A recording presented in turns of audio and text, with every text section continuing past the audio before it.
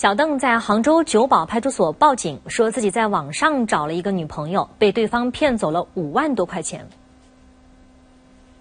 四月初，小邓通过交友软件认识了一位女网友，两人越聊越投机。当时这个嫌疑人的就是这个昵称也是蛮有诱惑力的，叫许你一世温柔。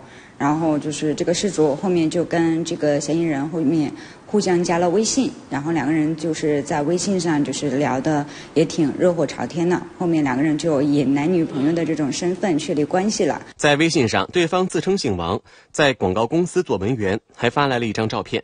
聊天时，不断的以点外卖、交罚款、购买生活用品等理由向小邓要钱。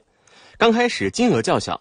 后来，对方又说自己母亲出车祸急需用钱，成百上千的向小邓要钱，不停的就是以各种理由，比如说他要还钱呀，要呃交房租之类的，就是让这个事主给他转钱，就总共是转了差不多总共是五万多块钱。要钱次数如此频繁，其实小邓也怀疑过对方身份的真实性。抱着这种怀疑的态度说，万一你对方是个男的，因为我也没有见过你，然后当时也是这种怀疑的态度。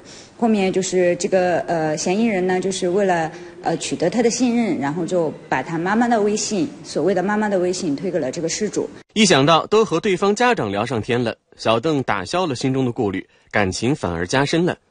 不过他多次提出视频聊天或者线下见面，都遭到了拒绝，这让小邓再次怀疑自己被骗了。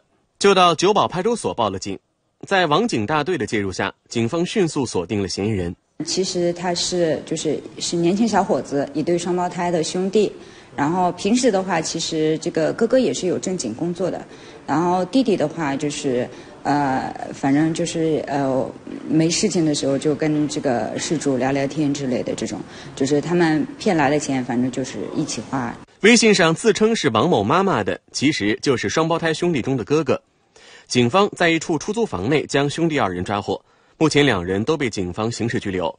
在这里也要提醒大家，一个就是微呃网上交友还是要谨慎。幺八幺八黄金眼记者报道。